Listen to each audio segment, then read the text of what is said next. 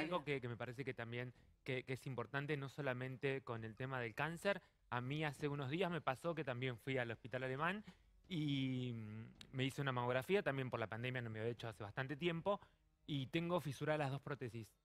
que ah. también es peligrosísimo. Peligrosísimo, muy, o sea, me tengo que operar ahora dentro de muy poco y cambiar, porque quizás hay muchas mujeres que están pasando esta situación, que no se controlan, que creen que ya está y la verdad que es peligroso, es muy peligroso, así que está bueno el mensaje, está bueno el mensaje de controlarse, si vos tenés las loas hechas, por favor, hacete controles porque es muy peligroso que ese líquido ande suelto por el cuerpo.